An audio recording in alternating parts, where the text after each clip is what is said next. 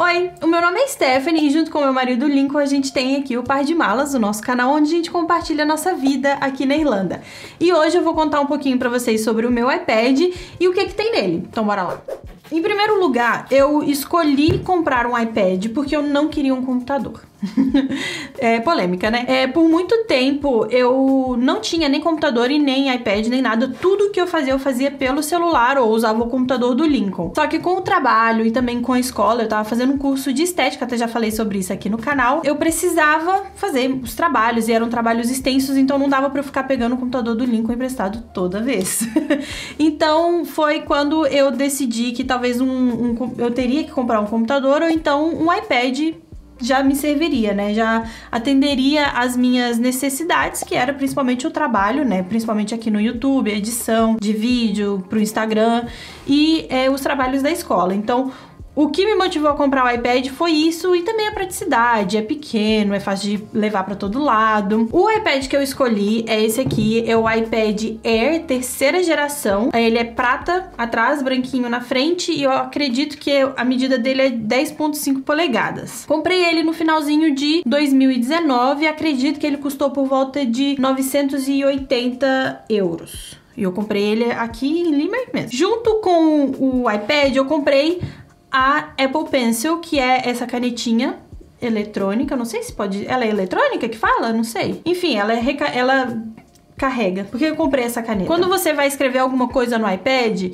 ele vai, como ele é touch, ele vai detectar a pele. Então, ele, se você escrever com outras canetas, aquelas canetas que tem uma bundinha de de borracha que serve para mexer no celular mesmo, sempre vai, vai detectar a pele do, da sua mão, sabe? Porque você escreve como? Você escreve assim, né? E com essa caneta, ela é Bluetooth, ela conecta no, no iPad e quando você escreve, ela escreve bonitinho só com a caneta, é perfeito. Eu gosto muito. Eu vou já mostrar os aplicativos que eu uso também para escrever. Hoje em dia serve para tudo, até para escrever no Google, mas vou mostrar para vocês daqui a pouco os aplicativos. Vamos falar um pouco mais dos acessórios. Além da Apple Pen, eu acabei comprando uma capa, né, para proteger e eu escolhi essa capa aqui porque ela dobra e eu consigo colocar o iPad em pezinho. Ixi, nem lembro mais como faz. É, ele ficaria assim, sabe? E essa capa aqui é muito legal também porque ela tem um lugarzinho pra colocar a caneta guardada. Então, sei lá, o negócio custou 99 euros e a gente não quer perder, né? Junto com essa capa veio este teclado onde fiz a maioria dos meus trabalhos da escola. O teclado também, ele é hum, magnético, então ele fica grudadinho aqui na capa, junto com o iPad. E isso é muito legal porque quando eu não tô usando a capa, né, por exemplo, agora, eu só tiro o teclado e eu consigo escrever normalmente no iPad. Além disso, agora eu tenho essa capa de coraçãozinho também, mas eu acho que, assim, o mais importante, o que eu uso além da caneta, né, diariamente, é um standzinho um, ele é de metal e eu consigo colocar o iPad aqui tranquilamente, em pé, deitado. E é, ele também consigo colocar ele aqui mesmo carregando, né? Porque tem aqui um, um espacinho. E isso era uma preocupação grande minha, que eu conseguisse usar ele quando ele estiver é, aqui, enquanto ele estivesse carregando também. Então vamos lá falar um pouco sobre os aplicativos. Eu tenho aqui só uma página de aplicativos, apesar de ter algumas pastinhas, eu realmente tenho poucos aplicativos. Eu escolhi é, não sincronizar o meu, o meu iPad com o celular, que é uma opção. Porque aí toda vez que, eu, que alguém me liga no celular, vai tocar no iPad. Toda vez que eu recebo uma mensagem no celular, recebia no iPad. Toda vez que eu baixava um aplicativo no celular, o magicamente, praticamente, o aplicativo aparecia no iPad. Então eu escolhi não sincronizar para evitar besteira, porque às vezes eu baixo o joguinho no, no celular e ele aparece aqui e fica me incomodando. Então, escolhi não sincronizar, então aqui no iPad só tem coisas que eu realmente uso. Aqui nos widgets, né, que são essas coisinhas aqui do lado, eu tenho só o calendário, a temperatura, que é muito importante aqui na Irlanda, né? e aqui eu tenho o estado das baterias, que eu gosto muito também, vou mostrar.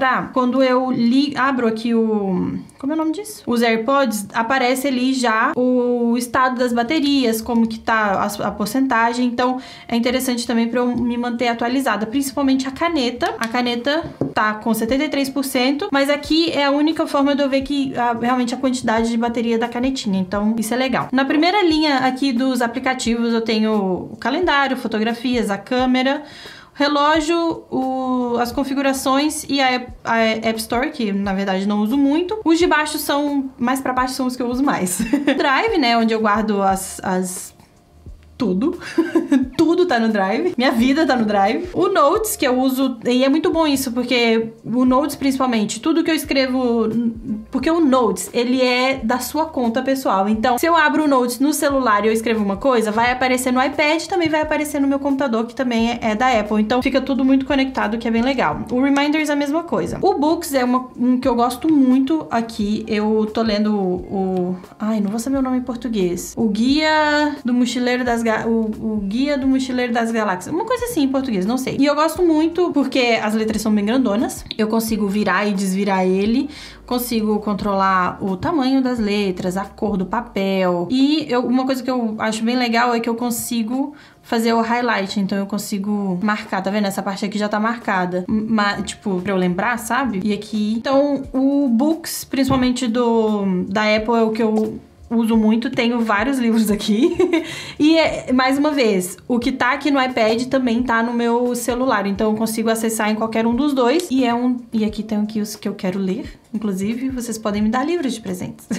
Tô brincando. Então, depois daqui do Books, eu tenho aqueles aplicativos da Apple, que na verdade ninguém usa e não dá pra deletar, né? Que é tipo Home, Numbers, essas coisas assim que ninguém usa. Numa pastinha que chama Inutilities, obviamente. Uh, como eu disse, um dos principais usos que eu tenho para o iPad é para trabalho. Então, aqui a gente tem os aplicativos da câmera, de edição, tanto de vídeo quanto edição de foto. Tá tudo aqui na pastinha foto e vídeo. Tenho aqui a minha pastinha de produtividade, onde tem os aplicativos tipo o Notion e o TickTick que a gente usa para organizar a semana. E esses dois aqui, o Paper e o GoodNotes, são aplicativos que eu uso para escrever, para me planejar, tanto que você vê que é uma zona. Queria mostrar para vocês um pouquinho mais sobre esse aqui. Vou abrir uma pasta. Aqui eu tenho várias canetas, vários, né? Tem lápis, tem canetinha, caneta mais fina, tem aguarela, tem esse assim que faz, que conserta um negócio, sabe? Tipo, se eu fizer um quadradinho, ele conserta. E é bem interessante, também tem vários papéis. Acho que essa parte de escolher o papel, para escolher tipo o template do papel, já é uma parte paga, né? Mas tem muita coisa aqui que você consegue usar no aplicativo grátis. Então, se você tá procurando um aplicativo para você poder rabiscar e escrever coisas, esse aqui é ele.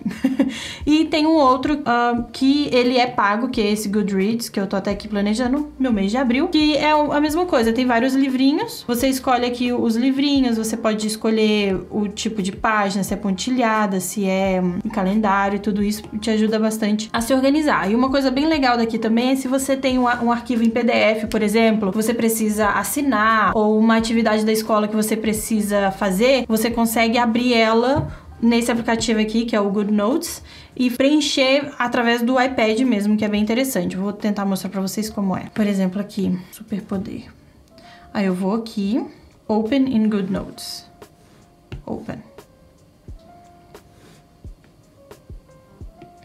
Aí aqui já tem a atividade. Aí eu consigo preencher aqui, ó.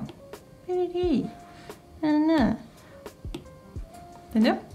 Bem legal.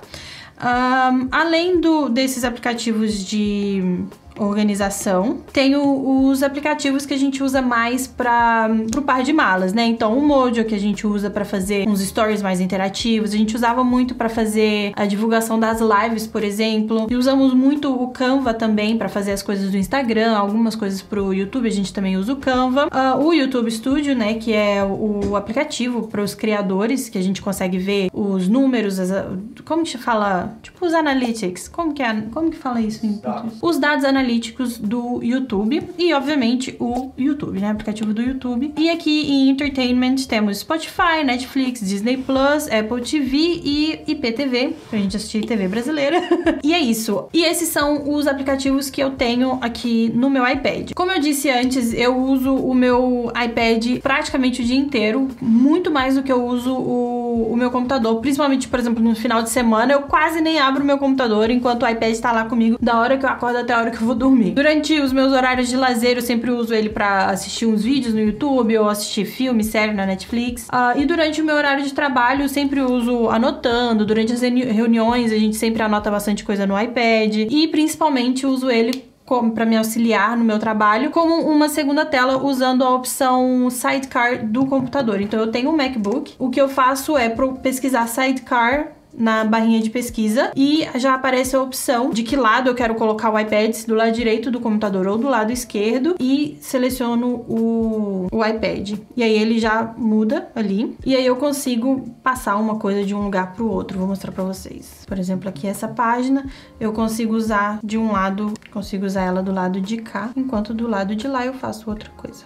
Então, eu sempre consigo ter as duas telas me auxiliando, sabe? Então é muito legal poder usar as duas telas, assim, facilita bastante, até porque o meu computador, ele é um MacBook um pouco menorzinho, então ter as duas telas é, facilita bastante no, no trabalho. Aqui do lado tem um vlog do dia que a gente comprou o iPad, então se você quiser, vai lá assistir também. É, não esquece de curtir, de comentar e de se inscrever aqui no canal. Tchau!